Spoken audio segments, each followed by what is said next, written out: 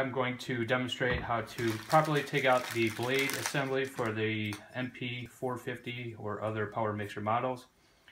Blade tool is simple as this. It's basically a wrench and a blade holder so you don't cut your hands. Take the blade holder, put it over the blade, take the wrench part, you're to use that like a screwdriver to unscrew the blade assembly. Couple revolutions, twists,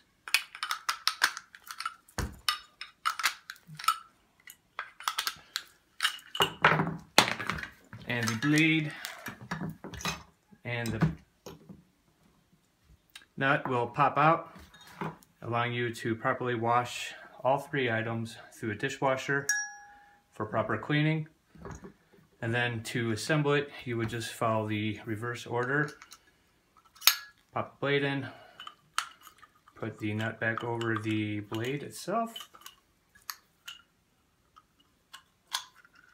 like so.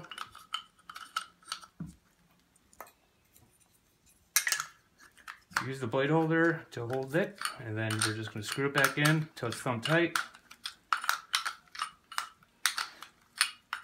Robot Coupe recommends you do this after each washing, but if you do it once a week, you're going to be doing it much more than any other end user out there in the industry. And that is how you properly clean the bell housing for the MP450.